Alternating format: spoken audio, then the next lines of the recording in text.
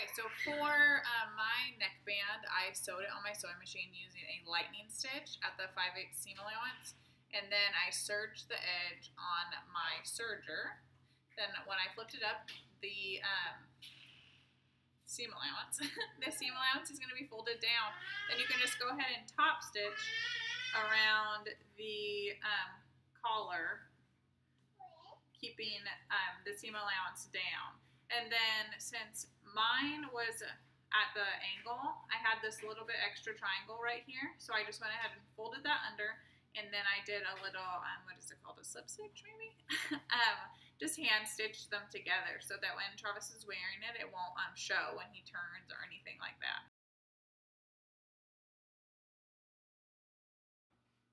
Okay, so once you're done attaching the sleeve, thank you. So in our old house, I had a sewing room all to myself, and in our new house, that's not the case. There is no door. Um, so, okay, so when you're done attaching the sleeve, then you're going to pin up the arm along the raw edge and then down the side of the bodice. So I already did that on the other side, and then I sewed it up.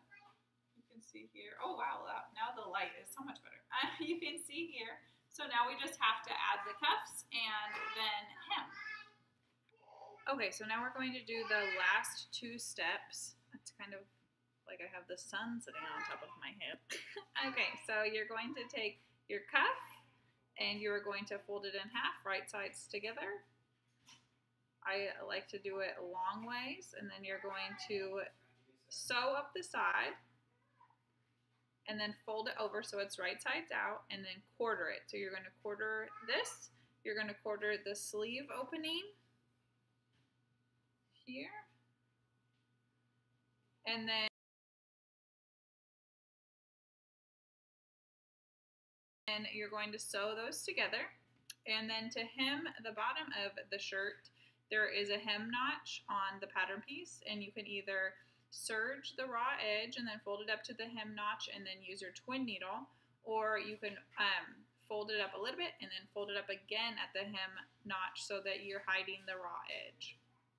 And then at any point during this, you could have done your buttonholes and your buttons on the Henley placket. So if those aren't done yet, go ahead and do those too.